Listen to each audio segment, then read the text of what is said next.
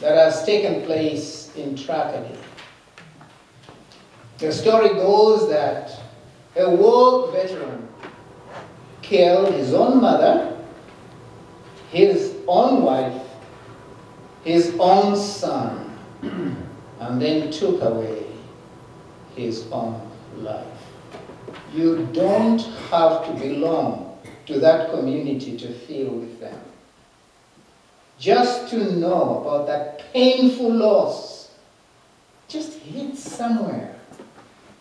It hurts. And I'm sure the people of Tracadie are asking the question, what went wrong? And not just the people of Tracadie. Those of us that have heard the story, those of us that are touched by it are also saying, how could it have been averted? It should never have happened. And in fact, it is said in the history of that community, and perhaps the whole of Canada, such a thing as that has never ever taken place. What caused it? Those questions are being asked. There are suggestions. He could have been better attended to after his leaving the armed forces. Perhaps somebody should have been alert and just following him around, so on and so forth. But what it has called for is to stop and ask, should this go on or should there be a stop to it? What is it that is causing it? And how can we bring it to an end? We can relate this to what happens in many a business. The successful businesswoman stops or man and asks himself, herself, how is my business running? It is the student who pauses and asks himself or herself, what is my performance like? It is the worker who will also takes stock of what is going on around him, what is good and what is bad, that is able to build on his work and prosper because you're not working haphazardly. Don't we realize the church should also stop and check itself? The whole year is gone, a new has come. Should we keep on being the same, doing the same, carrying on as we've carried on before? As somebody has said, if I go to my doctor because of an infection, and he gives me an antibiotic that does not work, I'll go back to him. That's why he tells me, come back after so long. We see how effective this medicine is. If it's not, let's reach, re do the whole thing and check and try another. And if his work doesn't quite perform, many a physician are not tired of saying, look for a second opinion. Or we ourselves say, I'll, think I'll, I'll ask somebody else to give me another opinion. We don't want to do things that keep us backward or make us stand where we are and don't take us forward. And the church is one place where we frequently ought to stop and ask ourselves, what will take us forward? For if there is any institution that should go forward, it certainly should be the church. It is the place where God has chosen, as our text says, to make his name be born, be understood, and to shine forth to an unknown world that God may be known. And Nehemiah does that for us very well. Tell me. Let's begin with him and see how he just begins at that place where he identifies himself as one among God's people, doesn't he? Hmm, are we jumping the gun too fast? He says he was a cupbearer. What does that to do? So he was in a foreign land. He was serving a foreign king. He was not even in his own territory. And yet this is the man who is moved to move from the foreign land to go his own native land and rectify things there. we do well to learn some lessons from the story of Nehemiah. And four of them will suffice for this evening.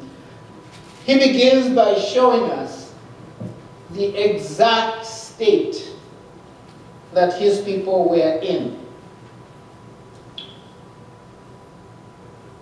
He says, they were small in number.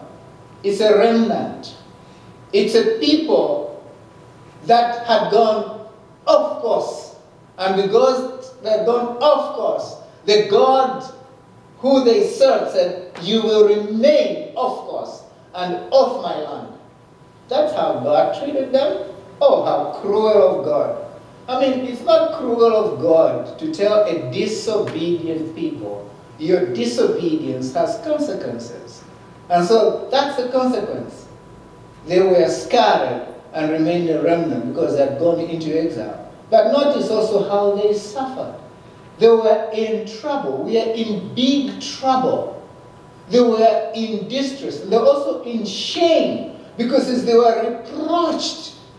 So here it is, small in number, suffering and shamed because they can't stand as themselves. Their wrongdoing has taken the better of them. And if you like, their enemies have silenced them. And none of us want to go in that territory. We don't want to suffer. We don't want to be shamed. We don't want to be silenced. We want our voices heard. And we want to be known for who we are.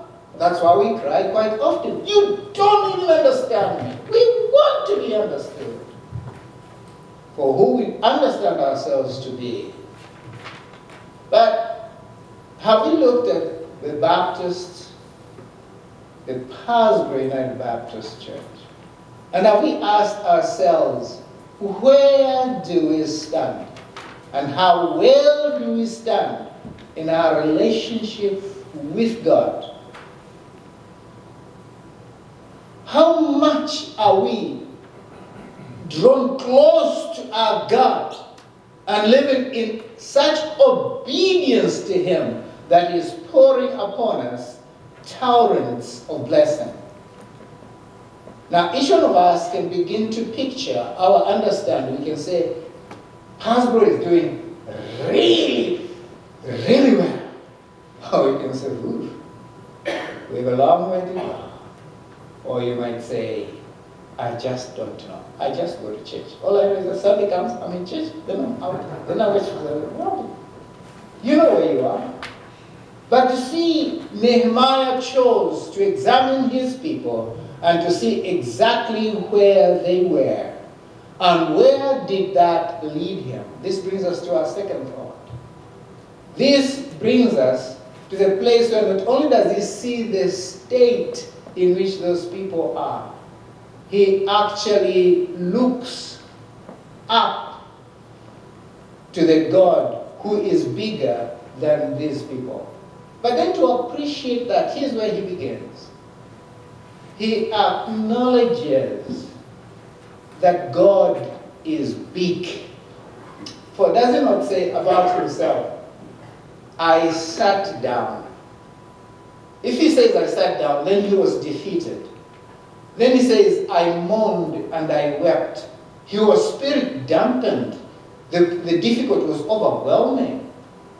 And you see, it's because of that that says, now I began to fast and to pray. I realized that my strength was not in me. It had to be only outside of me that would bring redemption to these people.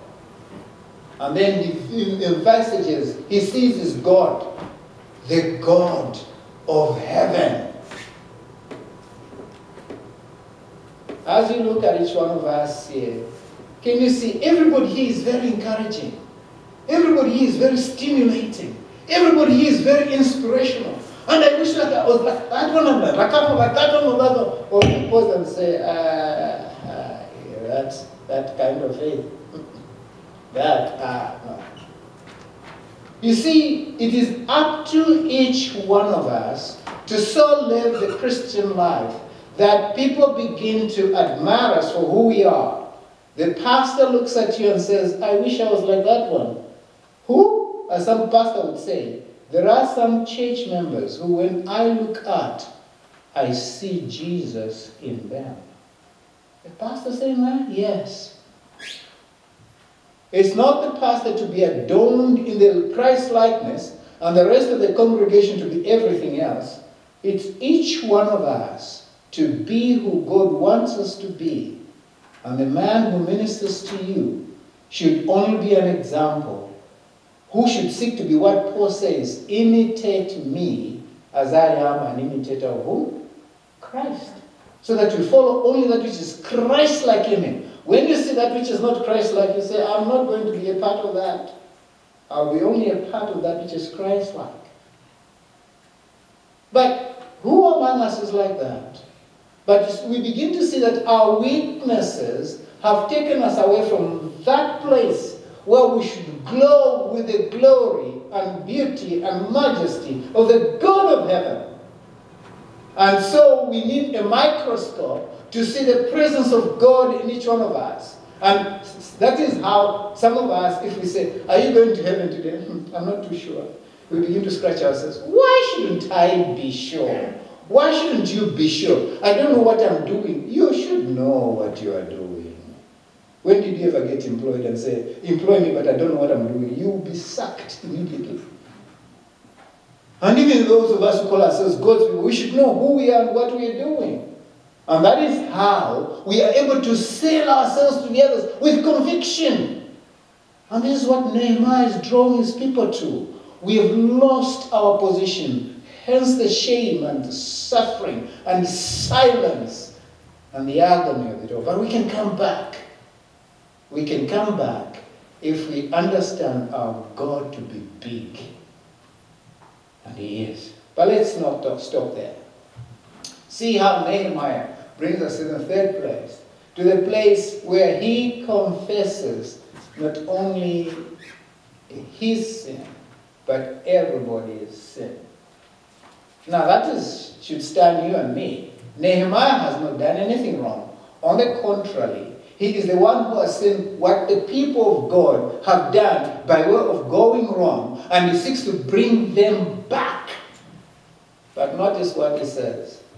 I understand that I am your servant, O God. And I understand that your people are also your servants.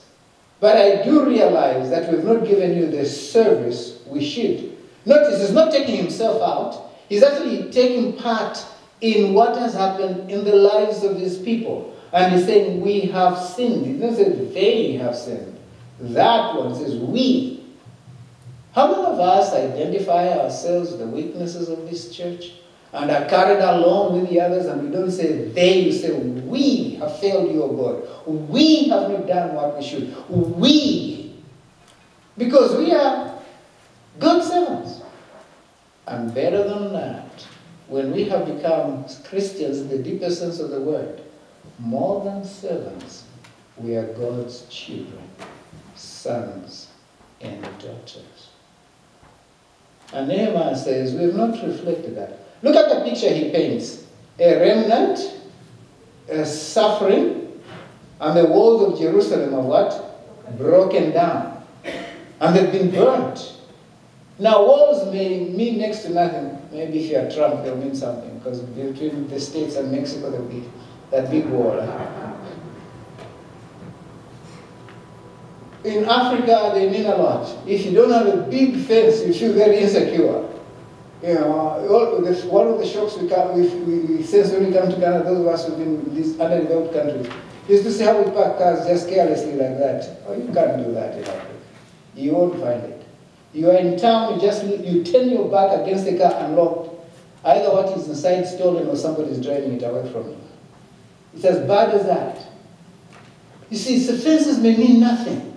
But for those who know that, yeah, three fences will safeguard their vehicle, they will do that.